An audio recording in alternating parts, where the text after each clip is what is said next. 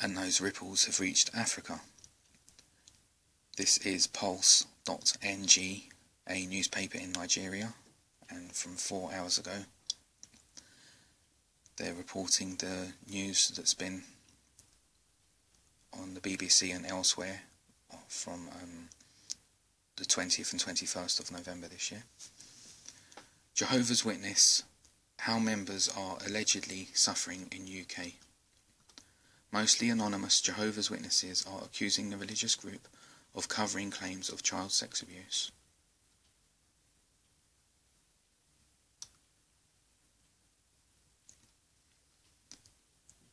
And this is just a really excellent, thorough article.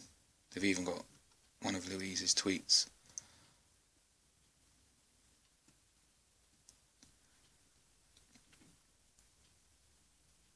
With the link to that news article.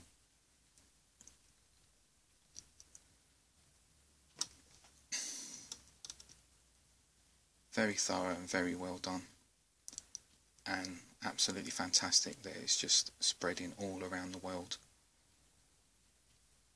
More and more people all around the world are finding out the truth about Jehovah's Witnesses. Thank you so very much.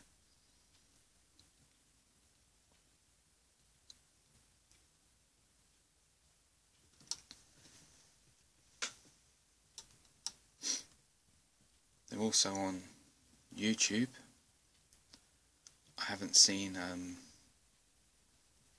any video yet on this, but I'll keep an eye out.